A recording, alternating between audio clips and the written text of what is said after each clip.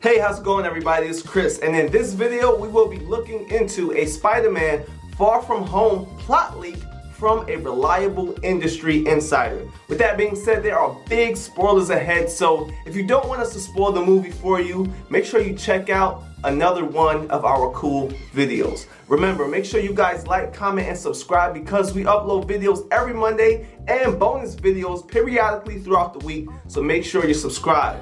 Also, stick around to the end of the video for Spider-Man Far From Home plot leak and be warned, there are spoilers ahead.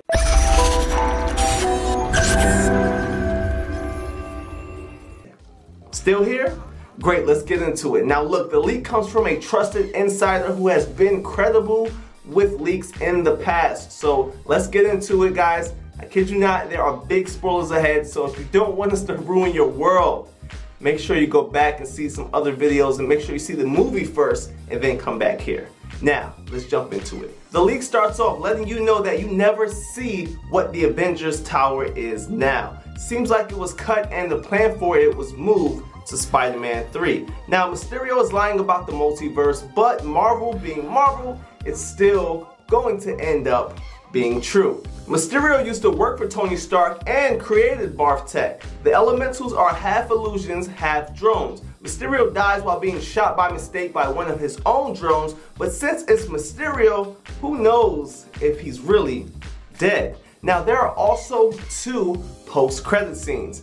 Mid-credit, you see Mysterio right before his death sent a message to the Daily Bugle channel that makes him seem like Spider-Man was the one controlling the elementals. And the video also reveals he's Peter Parker to the whole world.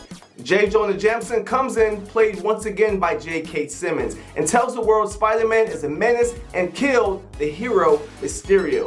Post-credit scene, you see Fury and Hill turn into Skrulls. Fury is in fact Talos from Captain Marvel, so Fury and Hill during Far From Home were never the real Fury and Hill. However, before you scream Secret Invasion, this is all just a troll act from Marvel.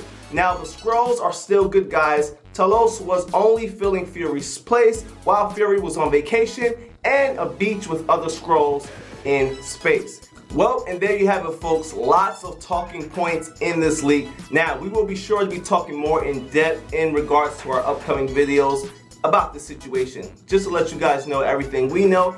And of course, we'll inform you as we get more information on exactly what's going on with Spider-Man Far From Home. Now keep in mind, Spider-Man Far From Home opens in theaters on the 2nd of July in the United Kingdom and the 5th of July in the United States. So make sure you guys check it out. So with that being said, we like to pose the question to you. What are your thoughts on the plot leak? Do you think it's true? Do you think it's not? Make sure you comment in the comment section and let us know what you think.